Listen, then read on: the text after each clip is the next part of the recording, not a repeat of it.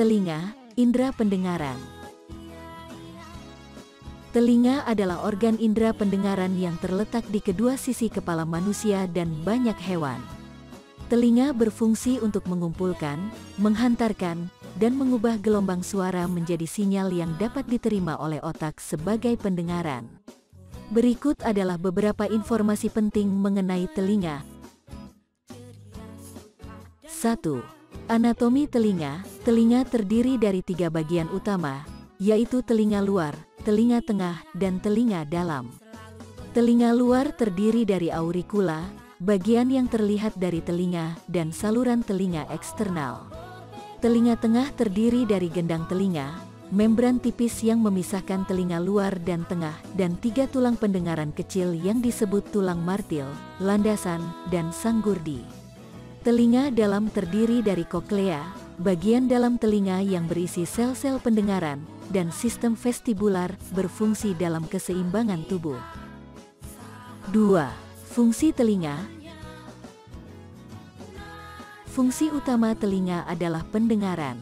Proses pendengaran dimulai ketika gelombang suara masuk melalui saluran telinga eksternal dan mengenai gendang telinga, yang bergetar sebagai respons terhadap gelombang suara.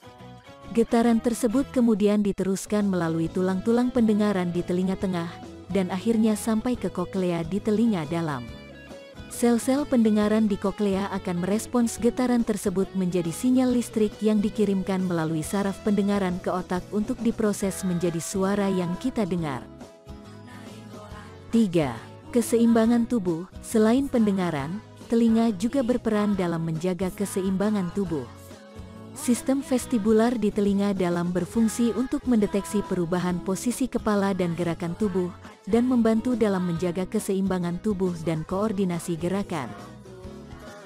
4.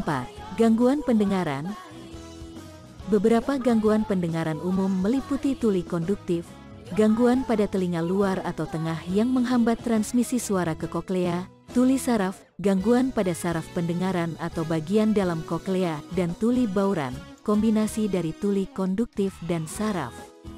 Gangguan pendengaran dapat disebabkan oleh berbagai faktor, seperti faktor genetik, infeksi, cedera, paparan bising berlebihan, dan faktor penuaan. 5. Perawatan telinga Menjaga kesehatan telinga melibatkan rutinitas perawatan, seperti menjaga kebersihan telinga luar dengan membersihkan auricula dengan hati-hati dan menghindari penggunaan benda tajam atau cairan dalam saluran telinga, menghindari paparan suara bising yang berlebihan, dan menjalani pemeriksaan pendengaran rutin.